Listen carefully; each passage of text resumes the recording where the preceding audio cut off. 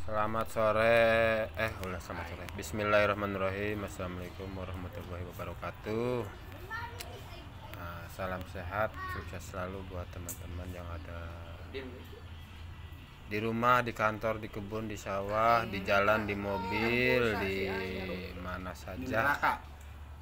Tidak di neraka. Oh, tidak. Saya mau menawarkan, eh saya mau menawarkan, saya mau men- menanyakan masalah ini, Pak Endang. Ini tuh apa makanan apa tuh? Makanan tradisional. Makanan trad- tradisional. Misro eh Misro bisa. lain lain. Amis di ah. jero. Ah, bola-bola itu itu cara makannya gimana terus bikinnya gimana tuh Pak Endang? Cara bikinnya lah. Barangkali Pak Endang tahu. Ini barangkali teman-teman Belum tahu lah. Saya mah taunya tinggal makan aja. Coba cara makannya Pak Endang coba. Cara pang makannya aja dulu lah. Udahlah sedikit lagi satu lagi ya. Nggak apa-apa. Enggak ada lagi. Kalau cara minum kopi Pak Endang yang paling bagus, yang paling bagus. Ini nih, bagus sinyal nih. Apal tuh.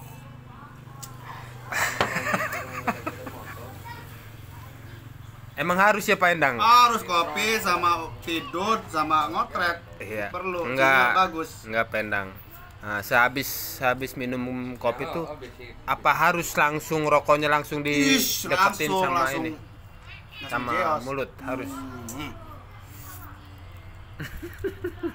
Enggak seperti itu tuh. iya ya pendang Aku sedang cari masa tuh. ya mungkin begitu aja informasi dari saya Oke, oke, siap, siap. tentang masalah amis di jero bola-bola sama kopi sama rokok. Salam Prima Raya Salam Tani. sejahtera.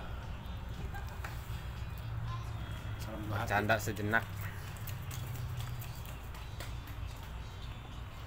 Di akhiran enak. Di Ya, topik hidayah wassalamualaikum warahmatullahi wabarakatuh. Salam. Salam. Salam non Be. salam hati Aduh, tadi di oh ini teh ini belum belum belum berakhir. Lanjut lanjut. Teman. Terbuat dari bahan ubi kayu atau singkong bisa juga apa dari ubi kayu. Oh iya iya iya. Ah, ah, ah, ah, bener ubi kayu. Terbuat biasanya terbuat dari ubi kayu yang ditumbuk atau digiling, dibikin tepung. Bisa juga terbuat dari ubi jalar, iya. Poled cek bahasa Indonesia Sunda. Nama. boleh bisa. Makan itu ini- cara memasukin gulanya gimana tuh? Ya, bisa ya, bisa masuk cara di dalam. masukin gulanya ya diempek-empek, dipiyet, Entil-entil. dijejelkin nggak jalan Gula merah segede gini lah. Sebelum digoreng tuh dimasukin gula merah segede gini. Nanti kalau digoreng kan jadi kayak gini tuh. iya Nah, oh iya. Gula merah cara itu jadi melebur. gimana cara makannya? Nah, cara makannya ya, ya. Oh, mantap. Ih, bahaya kan kita ngopi. Oh kopi deh jadol deh eh. kan kadinya ya. Duh. Nah, ini nggak nggak harus seka- sekaligus aja pak. Ini kan kecil pak. Ya, ini ini, bola-bola ini, kan gula merah yang tadi segede gini aja, tadi melebur segede gini. Ini namanya misro. kalau semua saya lapar. Cuman berhubung ini tinggal segini, nggak ada lagi udah habis. dinikmati Jadi dinikmati aja sedikit sedikit lah nikmat yang tanggung.